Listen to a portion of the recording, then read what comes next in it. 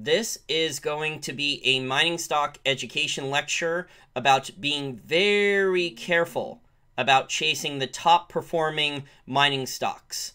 But first, I have to do the stupid disclaimer. So, anything I say on this lecture or podcast, any listener questions that are answered, are my opinion only. They are for informational and educational purposes only.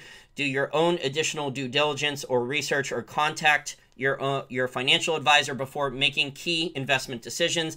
I do not want to hear later that you bought shares, uh, you put most of your life savings or all of your life savings into one to four junior mining stocks because they were going up.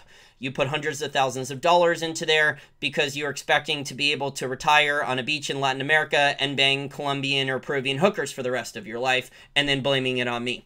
Okay? If you're in your late 30s or early 40s and you're doing things like that, you need to really look in the mirror and not blame it on other people. So, back to the lecture we're going to start the lecture now. So this chart, you're not going to see the whole chart. It's way too big for me to put on here. The chart is from Ronald Stoeferle of Incrementum AG. It is an excellent chart. You can take a look at the full chart on his Twitter, or it's in the Wall Street for Main Street Facebook group, the full chart. And the reason I'm doing this lecture, I was thinking about it actually before, but I got confirmation of this from some people who have been hitting me up, podcast listeners, people in my Wall Street for Main Street Facebook group and elsewhere, asking, Jason, why are some of the more quality royalty and streaming companies underperforming lately relative to other mining companies? And why are some of the Jason why are some of the more quality mining companies underperforming relative to some of these other mining companies and juniors so I, I I'm gonna explain why so first off this Thank you very much for the super chat. I appreciate it. So uh, I'll answer super chat questions later. Let me get this stuff done first. So for, first off, um, I think this chart, there are members of the gold community, not everyone, but some already, from what I'm hearing. There are some that are using this as recency bias to their advantage and also cherry picking data. And they don't want to talk about their long term track record. They only want to talk about how, since June, some of these mining stocks that some of these people in the gold community have been owning, which many of these mining stocks, if people in the gold community recommended some of these guys. Some of these ones were down way more than 60%. Some of them have had enormous rallies since June of this year. So you have on the chart, since you guys can't fully see it, you have Eldorado Gold is up 130% since June. Detour Gold is up 88% since June. New Gold is up 83% since June. Coeur d'Alene Mining is up 81% since June.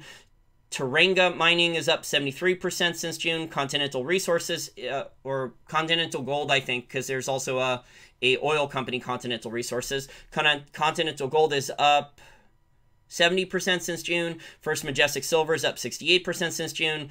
Remember, I was talking, um, I think in early 2019 or May of 2019 when First Majestic Silver was at 5 or $6 per share. That, in my opinion, I thought it was cheap. Uh, Silvercrest is up 67% since June. Yamana Gold is up 65% since June. Uh, I could read more and more and more. There's a bunch of them, but at the bottom of the list is some of the higher quality companies. So your Fresnillo is, uh, excuse me, um, let's let's talk. Where's Franco Nevada? Franco Nevada is only up 20% since June. Uh, Wheaton Precious Metals is only up 20% since June. Osisko Gold Royalty is only up 16% since June. Sandstorm's only up, I think, 15% since June. Hecla, which was predictable in my opinion, is only up 10% since June, given all the problems that Hecla has with trying to fix problems with operations, all the capex, and then also the problems with their balance sheet with debt. So that was predictable that Hecla would lag. Okay, the GX GDXJ index is up 35% since June. So to only look at things since June is a little misleading, let's say. I think it's recency bias. I think it's cherry picking data, especially when there's a lot of members of the gold community that have been recommending people keep buying the dips in all these gold mining stocks. There's even some newsletter writers out there that recommended gold mining companies that dropped 90% or more or went bankrupt. There's a money management company that recommended a lot of mining stocks that went down 60% or more, and some of them went bankrupt. And, you know, they've been recommending since 2011 to keep buying the dips and have large share of that in your portfolio. So to say that people have done very, very well since June. Well, how many people actually started buying mining stocks since June? Okay, most of the people listening to this podcast have had at least some exposure to mine stocks for a lot longer than since June. So that's why I'm saying that there's recency bias and there's cherry picking of data. That if you were holding some of these mining shares from 2011, 2012, 2013, 2014, 2015, or 2016, you're not up the 130%. So your cost basis is going to be different than the numbers on that chart. So you would have had to have perfect market timing then to have gone, let's say this is hypothetical, to have gone into a quality company like Franco Nevada. If you would have bought and hold Franco Nevada in 2013 when it was $40 per share, the company still grew revenue, still grew earnings despite the gold price not doing anything for years or going lower and the business was still well run they still still increased their dividend and so the share price for Franco Nevada from 2013 to now it went from 40 something in the mid 40s up to, let me look at it right now. We are at $92.78. So, yes, the last month and a half, two months, Franco Nevada has underperformed. However, if you go back since 2013, you slept better at night being a shareholder of Franco Nevada. So, yes, you have underperformed recently. And this trend of people that are switching from the safer gold mining stocks to more of the risk on riskier stuff this is something that i would say that eric sprott did a lot of so in starting in june i believe eric sprott sold about a hundred million dollars worth of his kirkland lake gold shares i think uh, it was at most a 10% stake he sold and then he started reallocating a lot of that capital the profits after he paid taxes on it or saved some for taxes. And then he took a good amount of that capital and he's been reallocating it into a lot of different all, all the silver companies, all the primary silver miners he could find, some of the juniors, some juniors, and then also some higher cost miners expecting higher prices. So he's gone from being more cautious and focusing only on quality companies to more of a shotgun approach and risk on and being more aggressive with his capital allocation. So the average person doesn't have the capital that that Eric Sprott has. So for them to start spreading it around and taking on as much risk is a lot more dangerous. If Eric Sprott loses a $100 million, it's not going to hurt Eric Sprott as much. So what is happening, if I could summarize then what has been happening and why these other gold miners have been performing more, is there's a lot of professional money managers that have been seeing doing the similar strategy to Eric Sprott or straight up copying Eric Sprott.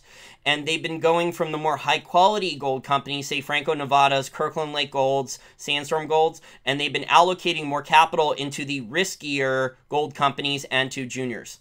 These are the companies that are more marginal producers that have higher costs that might have more debt and or might have more debt on their balance sheets by the way guys i'm doing all this without notes this is all from memory this is 10 years of experience in the mining industry interviewing most of the top experts in the industry ceos speaking with people off the record uh, mining company ceos and also i one of my day job things was also covering mining companies for a while so I do have a lot of experience in this industry. I've interviewed most of the experts. On top of this, Nolan Watson, who I'm friends with and interviewed many, many times, every three or four months now for many years, he has his pulse on the financing of pretty much all the gold mining companies. So he's he has an insane amount of deals come across his desk, whether it's for helping finance a producing miner or juniors, and he turns most of them down. So he's he's literally right at the pulse of the entire of the financing of the entire industry, and the financing of the industry has changed a lot due to the gold mining ETFs. The gold mining ETFs have hurt the financing ability of a lot of juniors. So this brings me back to the warning now. So there's people in the gold community now that are going to be telling you how much of a genius they are for picking out the right gold mining stocks since June.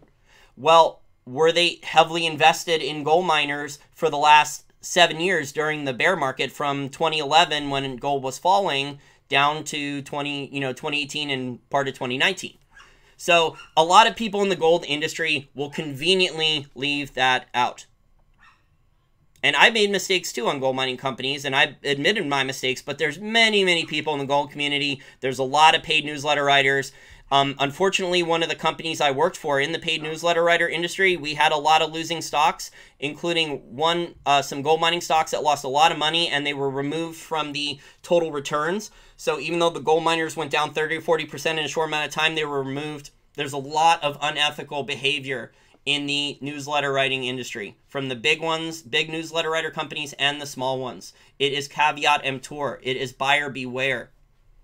And it, you know, if you speak, if you're an employee at one of those places and you speak out, your job's at risk. They tell you either you ship up in line or you're getting fired. You're you're being replaced the next day.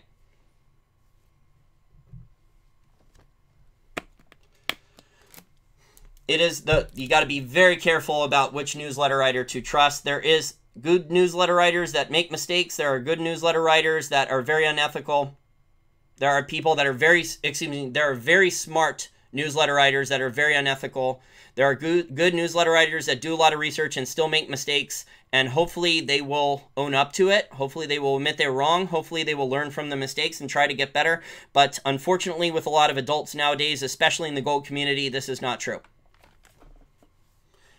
And so even though this chart is showing how well some of these gold miners have done since June, if you go back and look at the charts, for the last like six years, a lot of these gold mining stocks are still down more than 60%. That's the point I'm making. So for people to say that they're doing well, if you would have had perfect timing and you would have went from, this is hypothetically, if you would have went from, first of all, Sandstorm Gold started rising before gold took off in June. Sandstorm Gold, let's just use Sandstorm Gold since I'm very familiar with the company. Sandstorm Gold started to really rise in November, December of last year. It bottomed, the shares bottomed in the mid threes, and then the shares have taken off.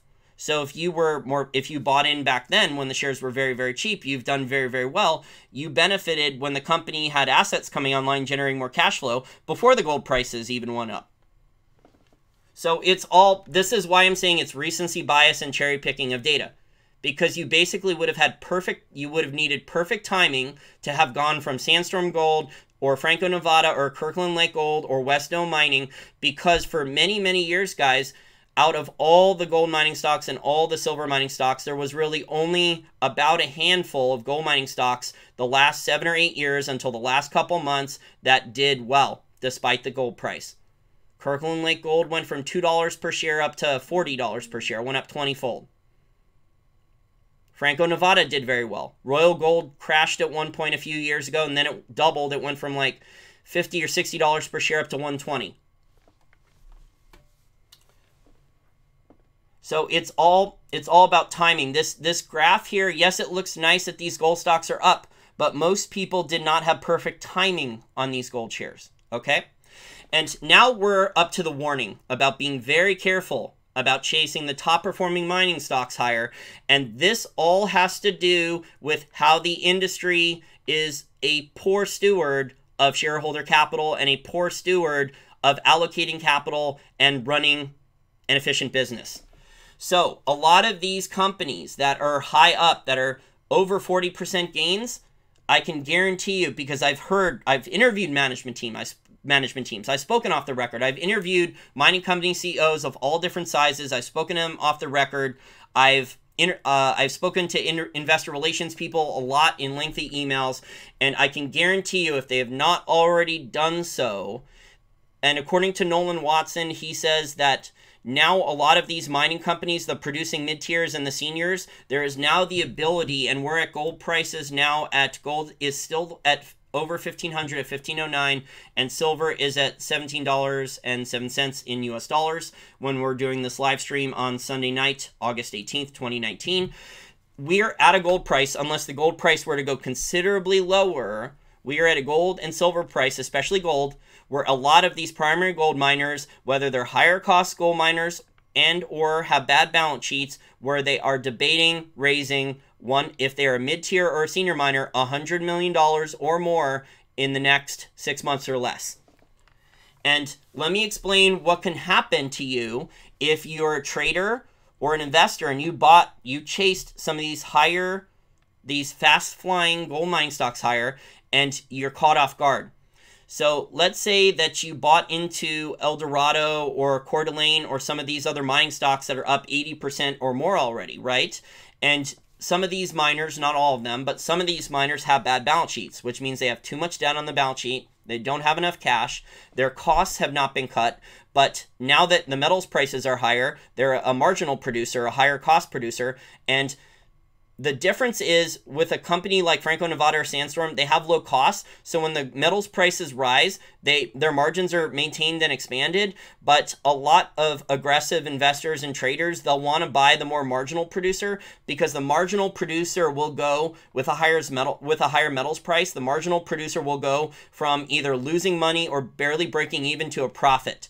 And that's where in a short amount of time you can make a lot of gains in the stock. However, you can also be caught off guard with these companies because literally tomorrow or the next day, out of nowhere, if you're not aware of how the industry operates, all of a sudden a hundred million dollar or more share dilution equity financing deal like a bought deal or term sheet offer or shelf offering. One of those things a shelf offering which was already been filed all of a sudden 200 100 million 150 million 200 million dollars was raised.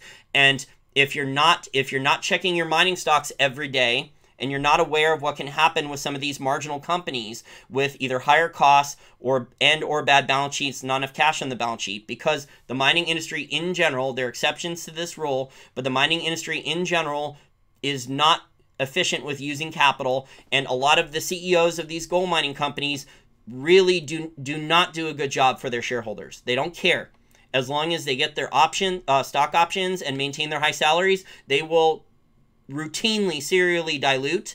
And we're not at the stage where a lot of the miners, um, except for maybe Hecla, where a lot of the miners, just my opinion, Hecla, where um, a lot of miners have to do reverse stock splits. But we're at a stage now where a lot of the miners are going to be raising massive amounts of capital. So you could be up a lot on a mining share, and then all of a sudden, here comes 10% total 10% dilution or 20% dilution or god forbid more of a stock from a producing miner dilution in a deal and then the shares crash. And if you're not familiar with how some of these financings go, and normally it's for, and they're not going to give you, these mining companies, guys, they're not going to give you warning. So the mining company CEO is not going to issue a press release to you guys warning you saying, you know, in the next couple months, I think we need to raise 100 million or 200 million dollars in capital. But I can tell you for a fact that a lot of these producing miners and especially juniors who don't have any cash flow coming in, any earnings or profits or cash flow, or they have very, very little, not enough to cover overhead expenses or drilling budget, they are discussing many, many hours per day how to raise capital. Okay, this is especially true of juniors, but it's also true of producing miners who are more marginal and have bad balance sheets or not enough cash. So, if you're a trader and you have this is not financial advice if you're a trader and you have individual mining share positions the smart thing to do might be to have like stop loss limit orders or trading trailing stops things like that that protect your gains you can put these things in you can change them and move them up so if a mining stock goes higher, you can move your trailing stop up or your trailing stop loss limit order, things like that. You can move those things up and that will protect you from a dilution. At least somewhat. It could somewhat protect you. You might be able to get some of your position out.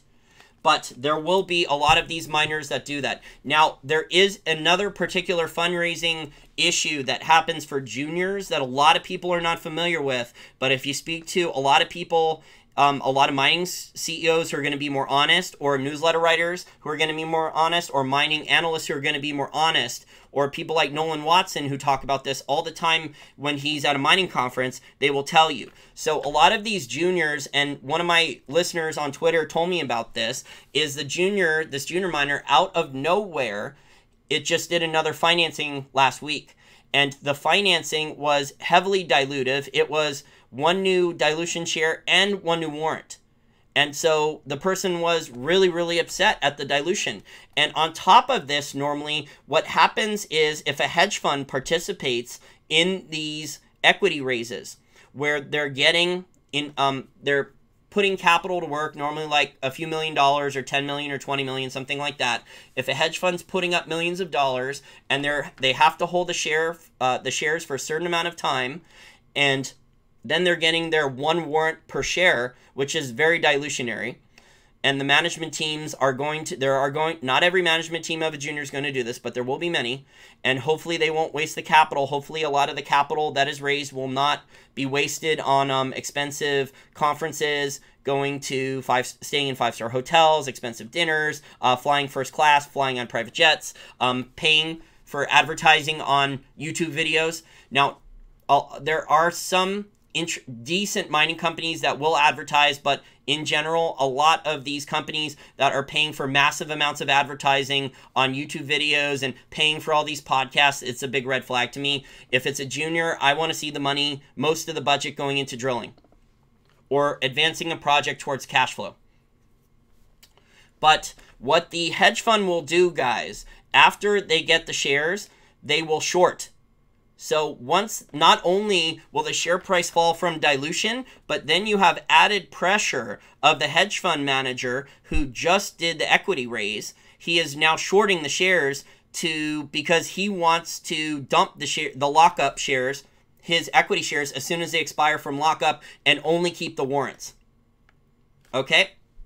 So you're not going to hear that in a lot of other places, but it is commonly routinely discussed off the record commonly routinely discussed off the record among executives at juniors, among paid newsletter writers.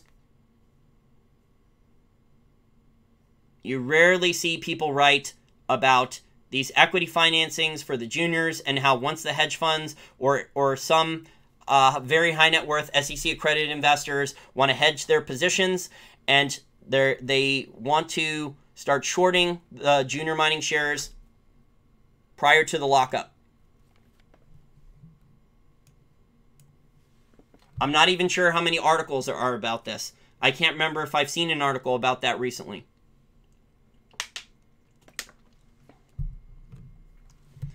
Tarquinius asks on Super Chat, he put all his miner portfolios in ETFs. Is that bad? Hey, Tarquinius, this is just my opinion, not financial advice, but if you don't want to do a lot of research and you, you just want exposure to gold miners and silver miners, it is the smarter and safer idea. So if you don't if you don't know which paid newsletter writer to trust or you don't want to take the risk of buying an individual mining stock, that is probably a smart idea to just stick with the gold mining ETFs. You'll get a basket of these things. You will get exposure. Um, if there's a couple mining companies inside the exchange traded fund, the ETF, that are doing capital raises and their shares crash, you're not gonna. The whole index might not crash. And this is the danger of picking out the wrong individual mining stock and not being prepared. And also, what I would say, and people are asking me, why is Sandstorm down? Why is Sandstorm down like 10% correction? Well, first of all, I think money is rotating out of Sandstorm that is taking gains in Sandstorm and it's going into these riskier shares. But I can tell you that as long as metals prices stay at these levels or rise, there will be a lot of share dilution coming a lot. And that will not be the end of it. If you're familiar with the mining industry, these guys, a lot of these companies, not every company, but a lot of them are serial share diluters.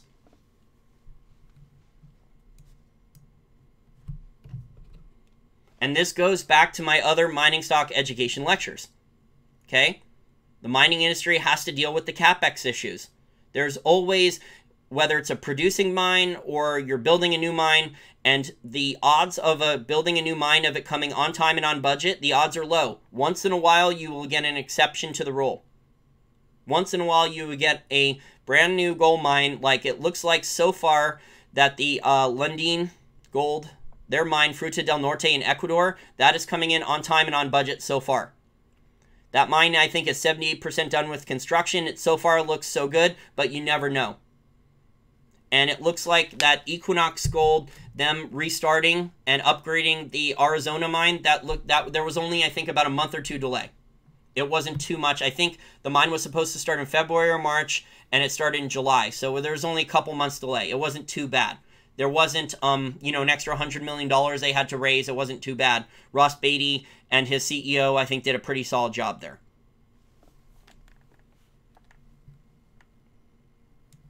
So if you see, if you own an individual mining stock and it's roaring higher, it's at 50%. This is not financial advice, just my opinion, but I can guarantee you if the management team running that mining company knows that their balance sheet is not good, that they have too much debt, that they don't have enough cash, that they have a capex bomb coming up that you're not aware of, a surprise enormous amount of capex for a producing mine or a mine they're bringing online. There's going to be the mine is not on time and on budget. There's going to be a cost overrun.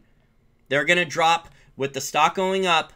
They're going to drop a big press release announcing an enormous dilution, 10% dilution, maybe even 20%, maybe even more than 20%.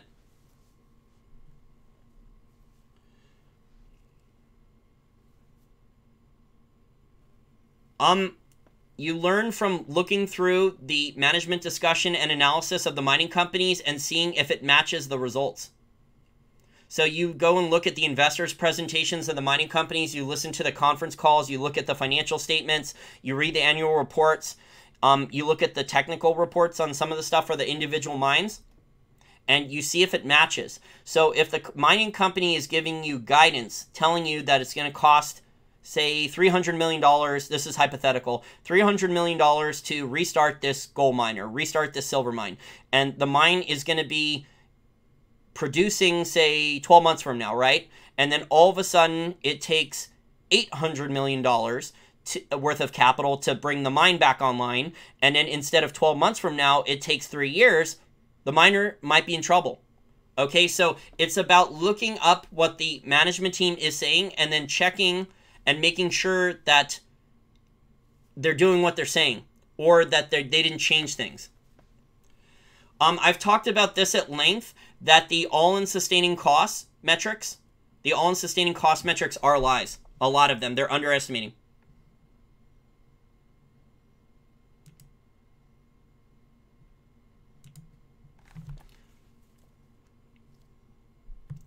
War Daddy asks, is there a lot of investor fraud in juniors? Yes, there is an enormous amount of fraud. But if the gold price is going up and the silver price is going up, as Doug Casey likes to say, when the wind is strong enough, even turkeys will fly.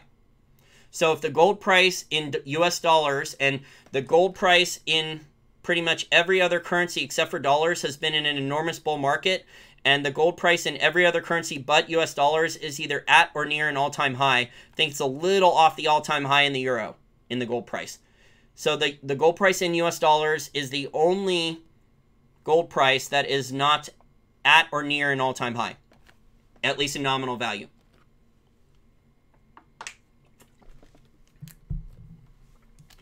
So there are a lot of dangers. There is I talked about it. I did a lecture on this about how to analyze risk versus reward. There is a lot of upside, a lot of reward for buying an individual mining stock or a junior.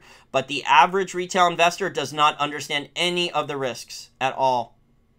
I've had long conversations with very smart people and also not so smart people who just happen to have a lot of money and have gambled or, or lost it because they don't want to they don't want to um, pay for the right paid newsletter writer they don't want to buy a mining stock ETF. They don't want to put any of their capital at like someone like Sprott, uh, Rick Rule's American Sprott.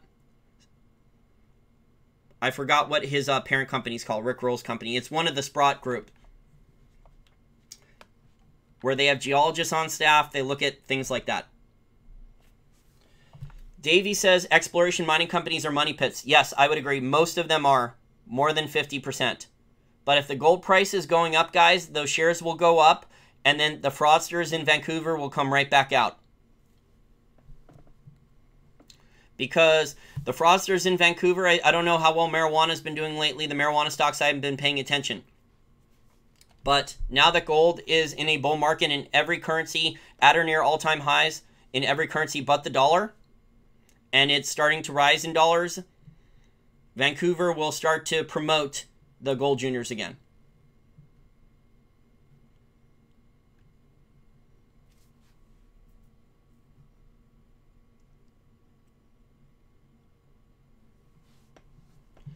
At what commodity, this is an interesting question from Troy George. At what commodity prices does Hecla become savable profitable? Um, I think they need, I think they need probably $20 silver at least, and they need and that assumes that they can get what uh, Lucky Friday back in Idaho because it's there's it seems that there's some big big problems between the management team in Hecla and the mining union there in Idaho, and then also uh, I think they need like they need a lot higher gold price. What one of my friends, Peter Spina of GoldSeek, thinks they'll do is they're going to restructure their debt and they're going to dilute and they're going to do a combination of these things, issue more debt, restructure it, and then do a combination of dilution and then share and then maybe a reverse stock split, a combination of those things, and they might be able to avoid bankruptcy and survive. I don't know. They have a lot of challenges. Hecla has major, major operational issues that they have to fix that are not that are not cheap. They're very expensive, capital consuming, and then on top of that, they have a lot of debt. So they the cap the cash flow that's coming in, they have to use to fix their debt problem, and then they also have capex problems on their producing mines, which are not generating free cash flow. But this the last time I looked extensively at Hecla was I think like two months ago. I haven't looked at them recently. They did announce that their costs were coming down a little bit, but it's a dangerous game. I wouldn't I personally would not bet on it. That's just me.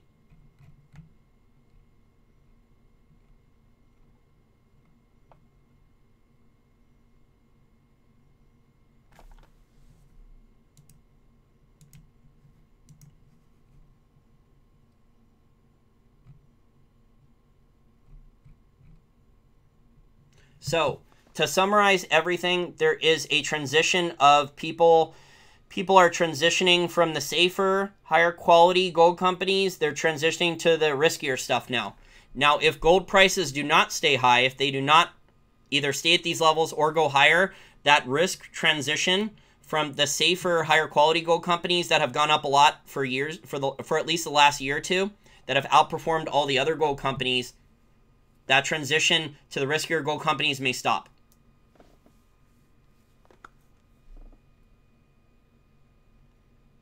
But there are a lot of producing miners and a lot of juniors that need to raise capital. Some of these, there's been smaller capital raises of a few million, maybe even 10, 20, 30, 50 million, but there has not been a $100 million or more capital raise yet, to my knowledge. And if the gold price in dollars keeps rising, there will be.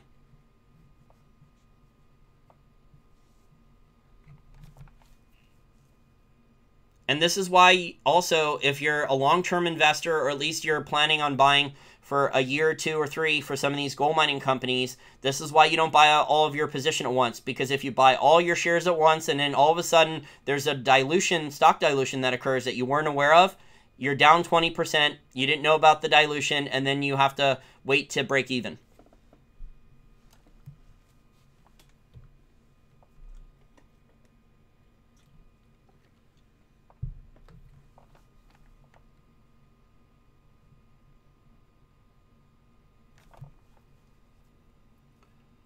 Trifecta asks, what are the best mining stocks you recommend that are legit? I'm not recommending anything, I'm just giving my opinion. I talked about Pan American Silver back in May. I talked about it at length on my podcast here. You can go back in the archives, it's on the record. When Pan American Silver was at $10 per share and it got up as high as 16. So in about three months, it went from $10 per share up to 17. It's having a little correction now, but I think it's a very solid company. I think the bankruptcy risk is low.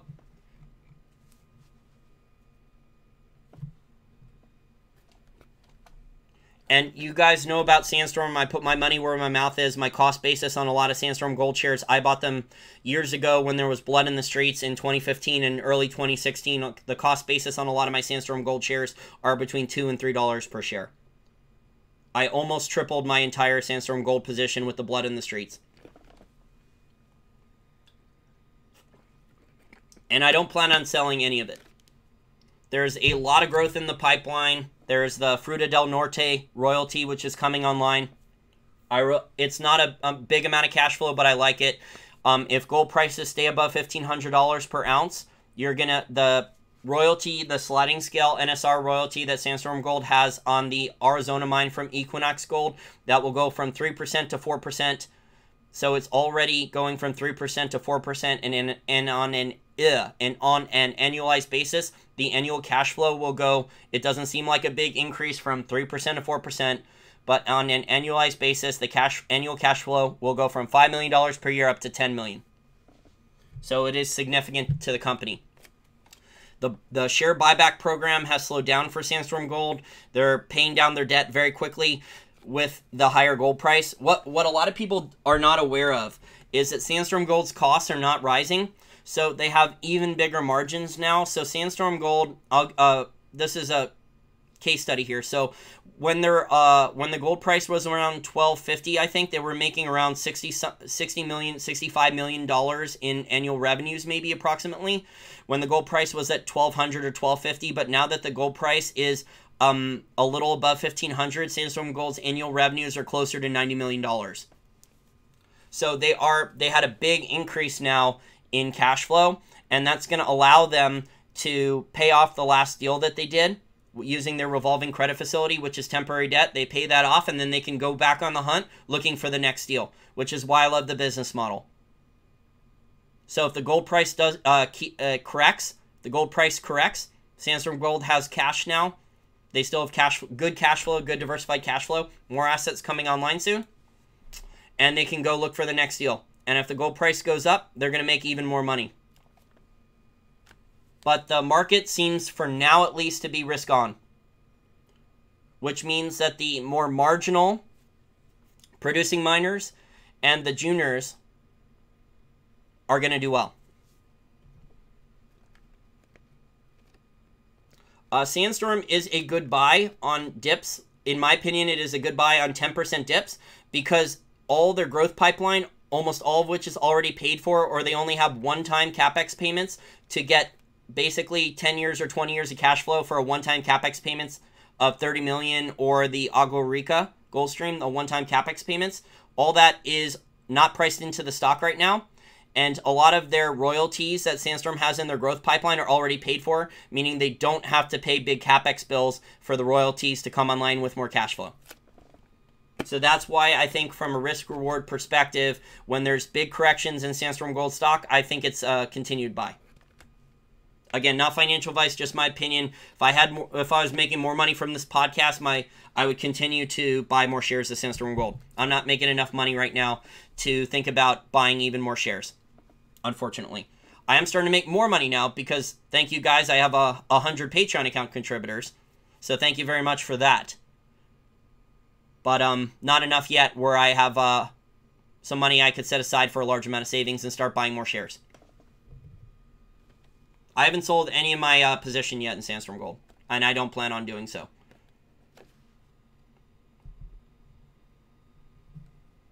They have more growth than any other company already in their pipeline, already paid for, or one-time capex payments. Hey BC, thank you. Uh, BC says thanks for all your work. Just found you last week. Um, Okay, I'm glad you just found me, man. The channel's growing really quickly. We, we're growing at almost 2,000 new subscribers per month, and I think we just did almost 300,000 views per month, which is, uh, I haven't done that in a long time. Since the YouTube censorship increased in uh, 20, 2016, and things just got really bad for me. So I'm glad that more people are finding my work. My channel should have over 100,000 subscribers. Um, if you're if you want to listen to interviews I've done with experts, there's hundreds and hundreds of interviews with some of the best experts in energy, in gold, in value investing, and global macro in the archives.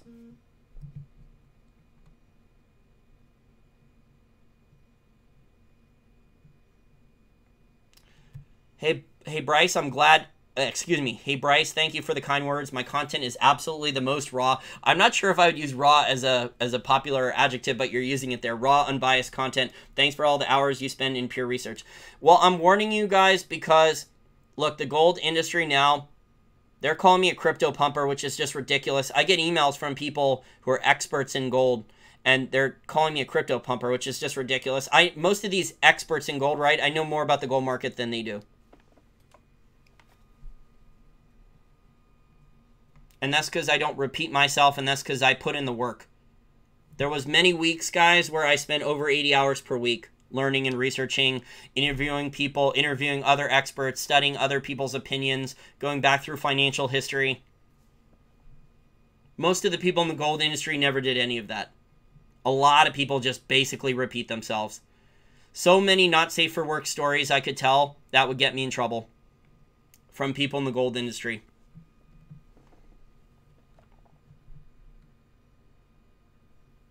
Thoughts on Yamana Gold? Yamana is a very marginal producer.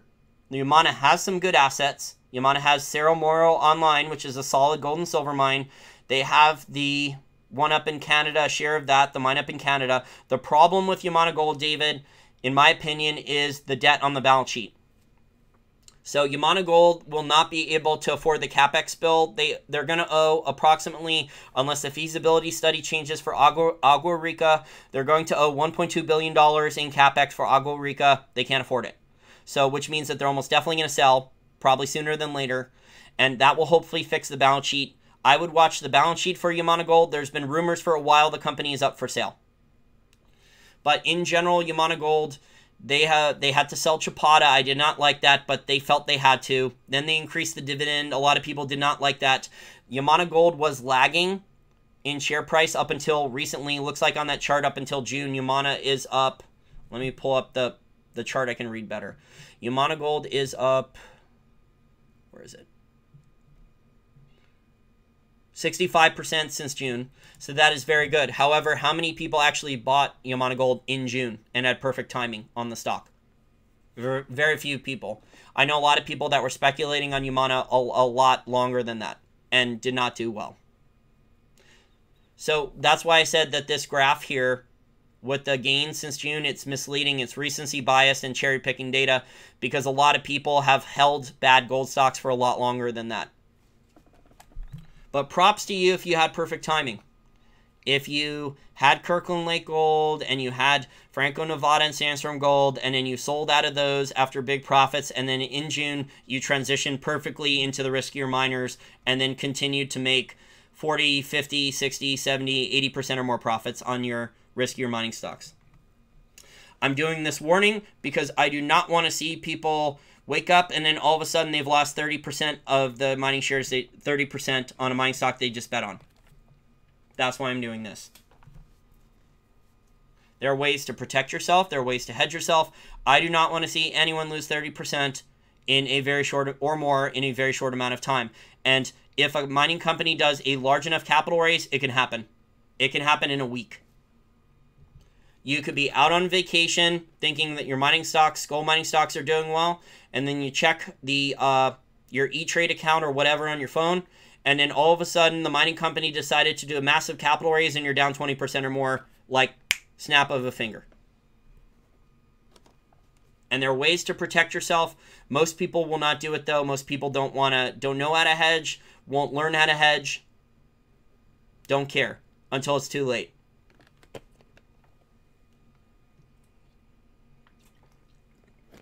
I don't like the GLD ETF period, Cyber. It's a big trading vehicle. A lot of Wall Street money will use GLD as a proxy.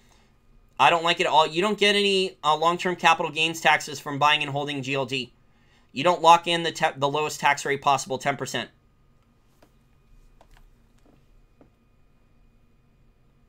McEwen Mining is a higher cost producer. They just had a, another mine come back online.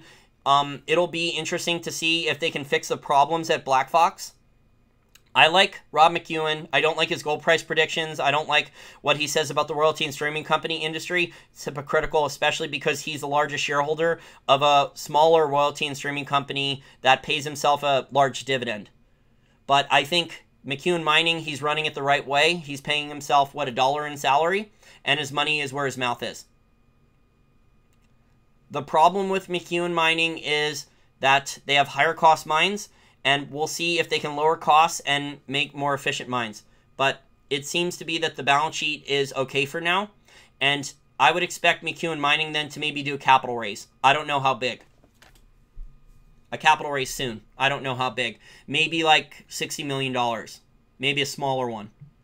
But according to Nolan Watson, I spoke to him last week and it sounds like he said the market is available now for these senior miners, the senior gold miners, and the mid tier gold miners to go out and raise $100 million if they want to. There is the ability to raise that capital, $100 million or more. The problem is if the miners mishandle this, the stocks could be down 20% or more in a very short amount of time. And then the shorts are going to start attacking it, especially if the gold price in dollars starts to correct. What is my prediction for the gold price? Well, it looks like market looks like the negative interest rates are going to keep spiraling out of control. We're almost at 17 trillion in negative interest rates already. I talked about this yesterday. So if that continues and the currency war continues with the dollar and the euro and the trade war continues to escalate, I think it's a it's worse than just an escalating trade war now between the US and China. I think it's basically a new type of cold war. So I think all of these things together will all eventually in the short term anything can happen there can be a short term correction in gold. I think uh, long term, though, the longer you look out, I think the higher the gold price is in every currency, including US dollars. So I think maybe educated guess, we could see gold at 1600 or 1650 by the end of this year if things work out for gold. If the gold price drops, the mining companies will have not raised their capital and the mining companies are back in trouble again the higher cost, the marginal higher cost miners with the bad balance sheets, they really need to raise, a lot of these mining companies really, really need to raise capital, a lot of it, and more than one capital raise. And it, they may have missed their window if the gold price drops and has a correction for the rest of this year. No, I do not always place a stop loss on gold stocks. In fact, I don't own a lot of the regular mining companies anymore because I know I don't trust the management teams. You can make a lot of money in a short amount of time on the mining companies, but you're also taking an enormous amount of risk, in my opinion. I don't buy a lot of regular mining stocks anymore. And it's because I know I've been lied to directly on the phone. I've been lied to in emails. I've been lied to directly to my face from people who run mining companies, investor relations, uh, senior management.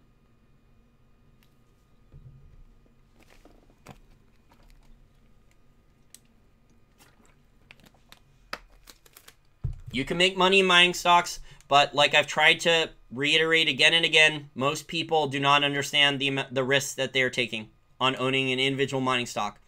And what could happen if you don't have hedges or risk mitigation strategies in place and you pick out the wrong mining company which is why, in my opinion, this is not financial advice. Most the average retail investor should only either stick with the royalty and streaming companies. And yes, you're not going to outperform when the gold price is going up. The riskier, more marginal stocks are probably going to outperform on a percentage basis. But if the gold price is not going up, you might not lose 30, 40, 50% quickly or more. Or a mining stock ETF. So royalty and streaming companies or a mining stock ETF. There's a number of mining stock ETFs. I'll read them really quick. You have GDX, you have GDXJ, you have Frank Holmes's one, which is Go AUX. Let me look it up. Yeah, Go AU. So Go, G O, and then the symbol for gold on the periodic table of elements, AU. That's the US Global Go Gold and Precious Metals Mining Index. And then you have the two Sprott ones. You have SGDM and SGDJ, and then you have the Silver Miners ETF, SILJ.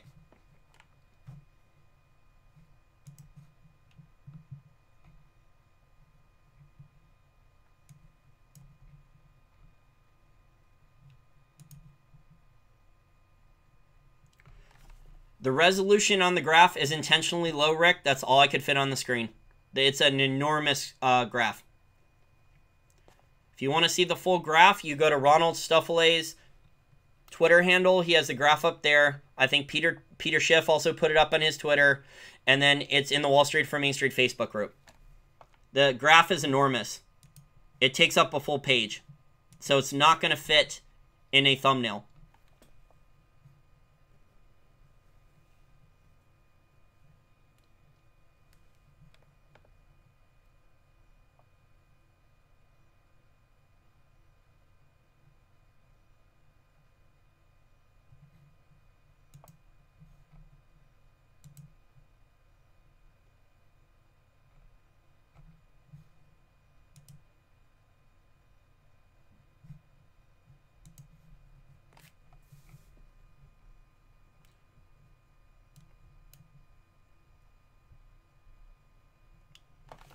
We've been in bad inflation for a while.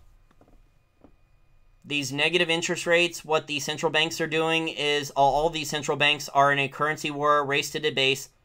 No one wants a strong currency now.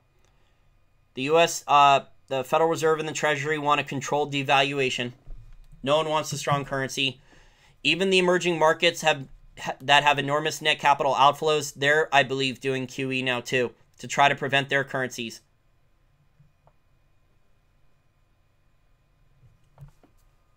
The emerging markets are, are trying to do rate cuts and they're trying to do QE, I believe, too. Everyone's trying to do it. But I think there's a lot of flight capital that's leaving emerging markets, leaving China, leaving the European Union, and a lot of it's going into U the U.S. Treasury market. Oh, thank you for joining Patreon. I appreciate it.